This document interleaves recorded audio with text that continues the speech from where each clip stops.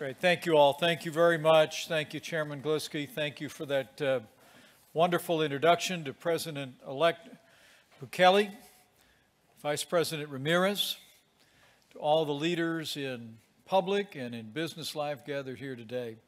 It is an honor to be here at the U.S. State Department at the crossroad of the Americas, the 49th annual Washington Conference of the Americas. Thank you all for being here.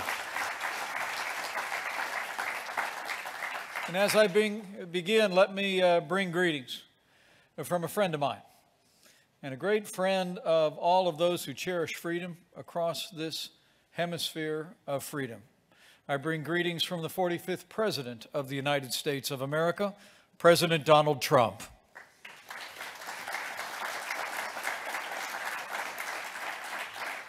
Before I begin, let me reflect on some welcome news. Last fall, we made clear to Aung San Suu Kyi of Burma that the arrest and jailing of two journalists was deeply troubling to millions of Americans, and we urged their release. Today, the world learned those two Reuters journalists were released after spending more than 500 days in prison where they'd been jailed simply for doing their job, reporting atrocities committed against the Rohingya people. In America and across this hemisphere, we believe in democratic ideals, including the freedom of expression and the freedom of the press, and we welcome the release of these two journalists. And we hope their release signals a positive and permanent respect for a free and independent press. But what brings us here today is to discuss the theme of this conference, which is disruption and transformation in the Americas. And it is unquestionable that over the last two years, there has been profound transformation across Latin America. Since the earliest days of this administration, President Trump has worked with our partners in the region to build a safer, stronger, and more prosperous Western Hemisphere. And the results speak for themselves. Under the BUILD Act, we've pledged up to $60 billion in development financing to help our partners build infrastructure they need to grow. We've expanded access to affordable American-made energy through our America Crece initiative. We've promoted free, fair, and reciprocal trade, forging a new trade deal like the United States-Mexico-Canada agreement. We've also strengthened our security ties. And under the President's leadership, the United States has conducted joint law enforcement actions across this hemisphere and reinvigorated the fight against illegal drugs by helping bring thousands of charges against dangerous gang members and money launderers. And it's also been my honor to travel to Latin America five different times in our first two and a half years. And I've witnessed this transformation firsthand. And we've worked to strengthen the ties that bind freedom-loving nations and peoples all across this hemisphere of freedom. In Ecuador, I saw President Moreno support press freedom and renew the fight in his country against illegal drugs and corruption. In Argentina, President Macri and I eliminated long-standing trade barriers between our two countries for pork producers. In Brazil, we laid the groundwork for greater cooperation in space. And in Lima, Peru, I was honored to represent the United States at a historic conference where 35 nations pledged to fight against corruption in their governments and renew our commitment to freedom. Since my very first visit to Latin America two years ago, the people of the Western Hemisphere have voted in election after election for prosperity, for security, for transparency, and the rule of law in their governments. And the United States has stood with them every step of the way. And America will always stand with our neighbors when they stand for freedom.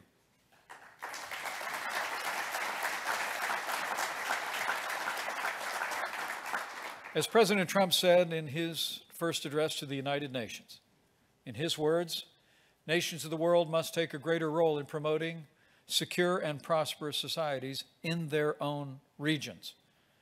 And as the largest trading partner and source of investment in the Western Hemisphere, that's exactly what America has done. As the President also promised, a new day is coming in Latin America, and so it is. Across the Western Hemisphere, socialism is dying, liberty and prosperity and democracy are being reborn right before our eyes. So there's been transformation. over the last two years. But as we all know, there's been extraordinary disruption as well. And today, the single greatest source of disruption, the single greatest disruptor of peace and prosperity in the Western Hemisphere, has come from the regime of Nicolas Maduro in Venezuela and from their desperate attempts to cling to power. Venezuela's neighbors know better than anyone how hard it is to bring liberty to a land that has long lived under dictatorship.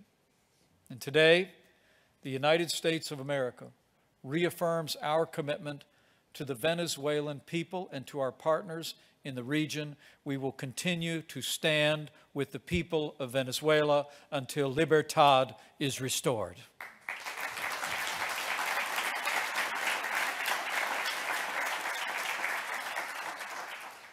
And recent scenes out of Caracas have been heartbreaking and deeply troubling. It's extraordinary to think of it. Last week, the world saw armored vehicles run over unarmed citizens, military forces firing tear gas at churchgoers and hundreds of people, including children, be thrown into jail because they dared to protest the man who oppresses them. The struggle in Venezuela is a struggle between dictatorship and democracy. Nicolas Maduro is a dictator with no legitimate claim to power, and Nicolas Maduro must go. For six long years, the people of Venezuela have suffered under the heavy hand of oppression.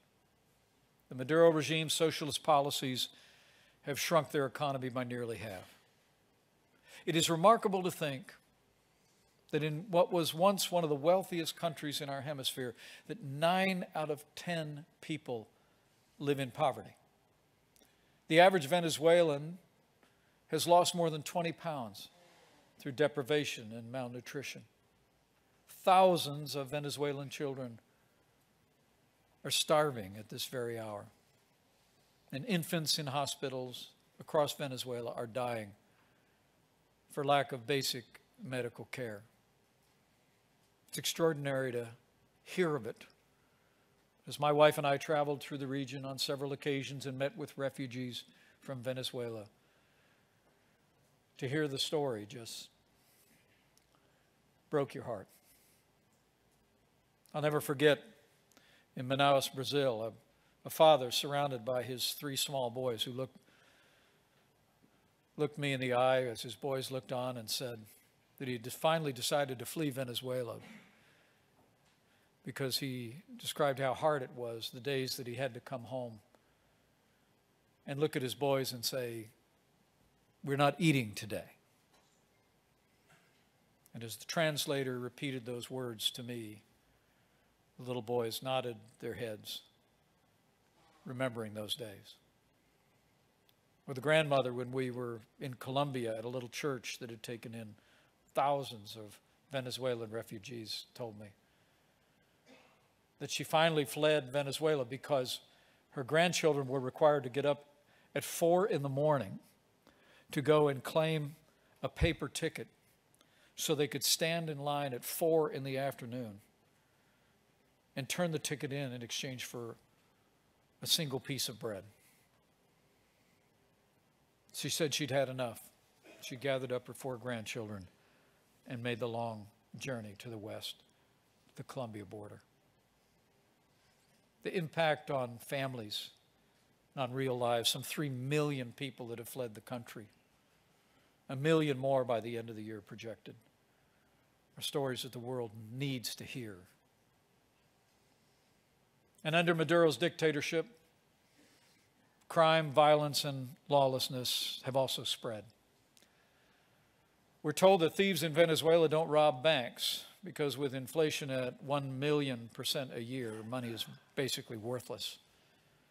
Instead, they rob restaurants for food. Vicious gangs and the notorious colectivos have turned the streets into war zones.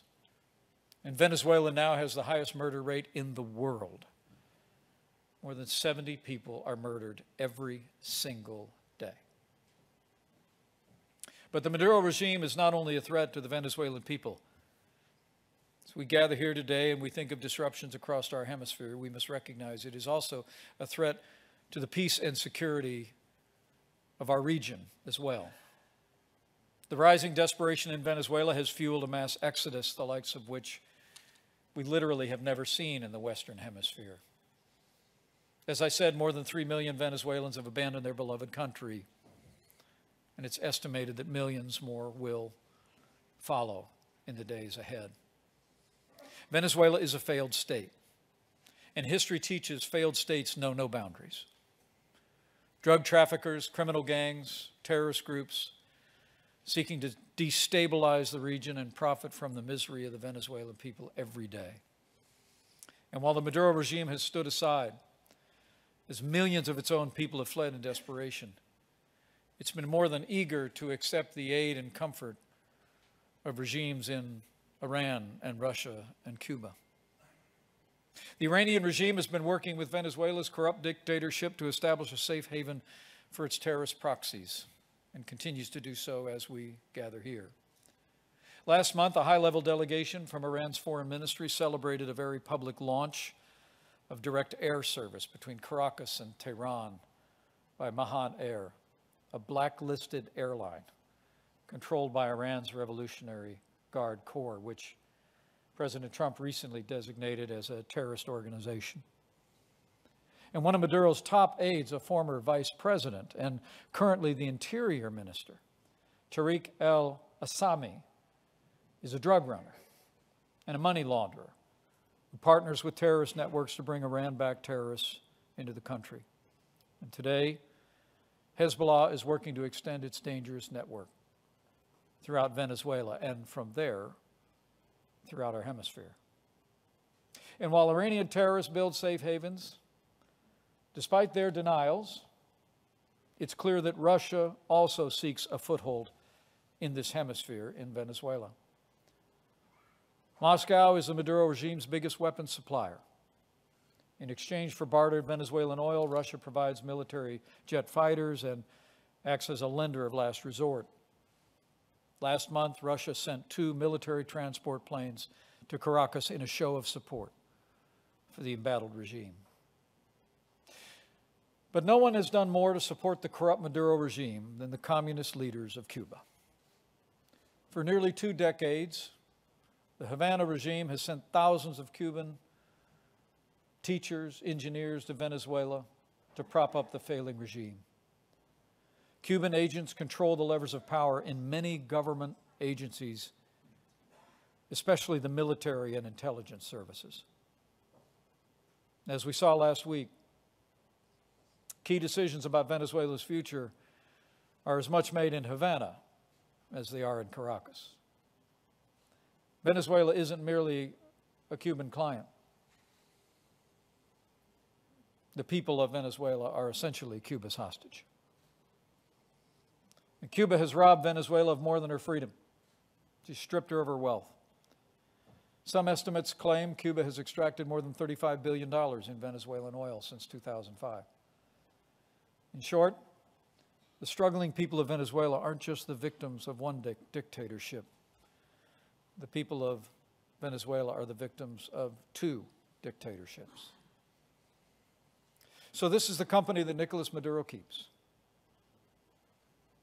And the Americas will never fully realize our potential as a hemisphere of freedom until Venezuela is able to cast off Cuba's control and once again take its rightful place as a free and independent nation.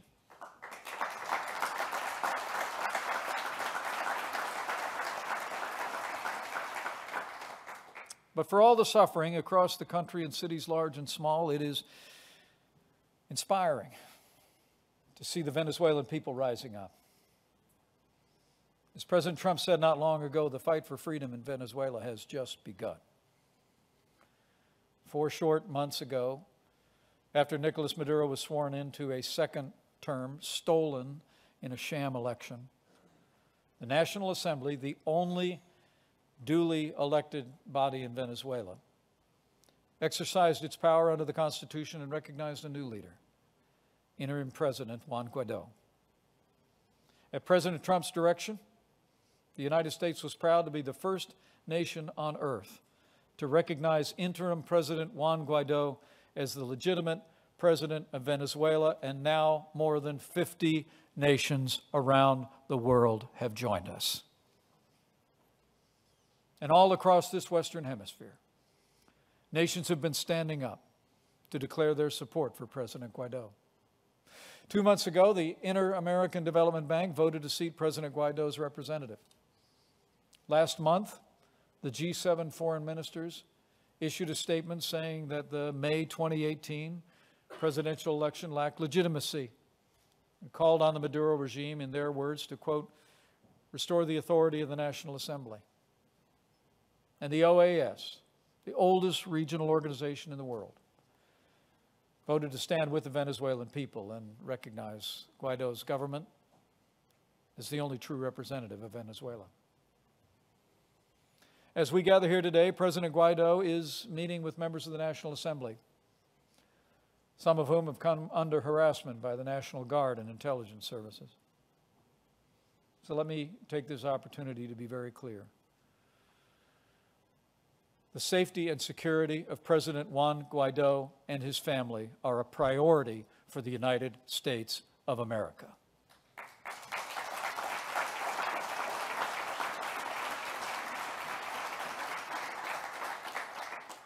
The United States has been tough, stood strong for freedom in Venezuela. And as the president said, we can be a lot tougher. Under the Maduro regime, in particular, the Supreme Court of Venezuela, has undermined its constitutional mandate. The Supreme Court was established to protect individual rights and the rule of law. But sadly, of late, it has become a political tool for a regime that usurps democracy, indicts political prisoners, and promotes authoritarianism. It is time for the Supreme Court in Venezuela to return to its founding purpose. If the Supreme Court of Venezuela does not return to its constitutional mandate to uphold the rule of law, the United States of America will hold all 25 of its magistrates accountable for their actions.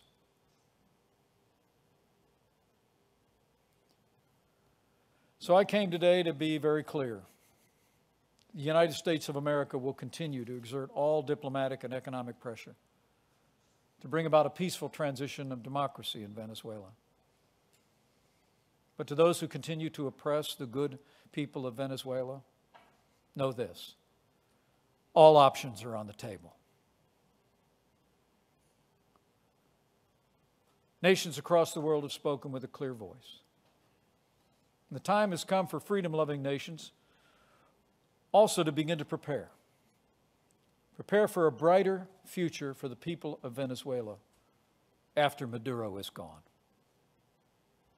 Under President Trump's leadership, I'm proud to say the United States has been standing with the people of Venezuela. And we've been committed to helping families and communities that have been devastated by the dictatorship and oppression of the Maduro regime. We positioned more than 500 metric tons of food and humanitarian supplies on the Venezuelan border, ready for immediate distribution. The American people have provided nearly $260 million in aid to support displaced Venezuelans and the host nations that support them so generously. And today, I'm announcing that at President Trump's direction, the United States Navy will deploy the USNS Comfort to the Caribbean, Central America, and South America this June.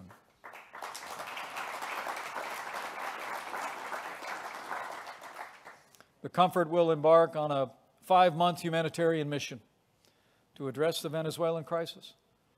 United States military and medical personnel working alongside their counterparts across the region will be there to provide medical assistance to communities in need and help relieve countries overwhelmed by the influx of the suffering people of Venezuela.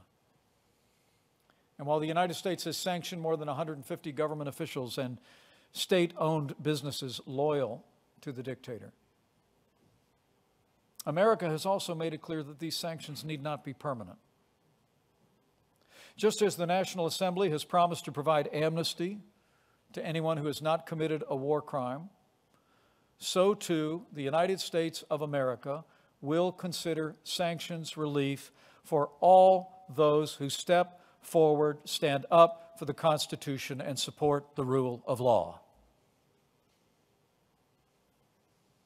Like General Manuel Cristopher Figuera, the former chief of the Venezuelan intelligence service, who just last week broke ranks with the Maduro regime and rallied to the support of the Venezuelan Constitution and the National Assembly. In recognition of his recent actions in support of democracy and the rule of law, I am announcing today that the United States of America is removing all sanctions on General Manuel Cristopher Figuera effective immediately. As President Guaido builds a brighter future for Venezuela, we hope the action that our nation is taking today will encourage others to follow the example of General Cristopher Figuera and members of the military who've also stepped forward and taken a stand for the Bolivarian Constitution and Libertad.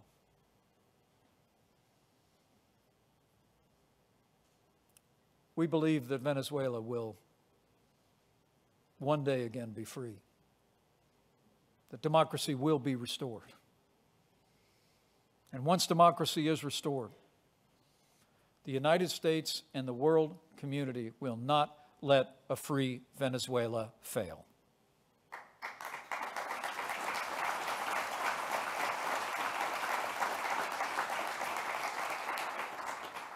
We will help the fledgling Venezuelan democracy regain its footing. We'll build a brighter future after Maduro is gone, creating jobs, fighting poverty, and expanding opportunity. We're already hard at work. Freedom loving countries of the Lima Group and the G7 are helping to build support for Venezuela at institutions like the IMF, the World Bank, the Inter American Development Bank. Together, we will get aid to Venezuelan families rekindle access to trade finance so that Venezuelans can get goods back on the shelves, extend lines of credit for new businesses, and help the Venezuelan government meet its basic needs. Once Venezuela's democracy is restored, Venezuela's future will be bright. And let me be clear there can be no bystanders in the cause of freedom in Venezuela, across this hemisphere, or across the world. The United States today, again, calls on all nations of the Western Hemisphere to stand with the Venezuelan people as they rise up to restore freedom, democracy, and libertad to their nation.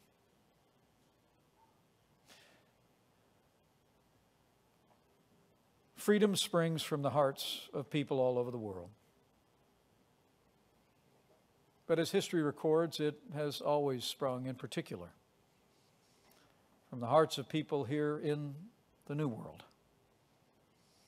And I believe with all my heart that freedom will continue to reign not only across this land, but across this hemisphere, across this hemisphere of freedom. And Venezuela will one day be free. For, in the words of Simon Bolivar, a people that loves freedom will in the end be free. So, to all the people of Venezuela, on behalf of my fellow Americans, we say again, Estamos con ustedes. We're with you. We will continue to stand with you and pray with you until your freedom is restored. And to the freedom loving people in Venezuela, and all the good people gathered here and nations that are standing with them. Just know as you stand, as you march, as you go, you do not go alone. We are all with you. Freedom loving people across this hemisphere are with you. And I also believe that the author of freedom is with you as well. For where the Spirit of the Lord is, there is freedom. That means when we labor for freedom, we make His work on this earth our own. And freedom always wins. So, with faith in that great promise, gratitude to all who have joined us across this hemisphere of freedom in this great cause, and faith in the courage and strength of the Venezuelan people, and the generosity and ideals of the American people and all our allies. I believe with all my heart the day is coming soon when Venezuela will once more be free. We will see a new birth of freedom in this nation, in our hemisphere. And Venezuela will be a nation reborn to libertad. So help us God. Thank you very much. God bless you all, and God bless the United States of America.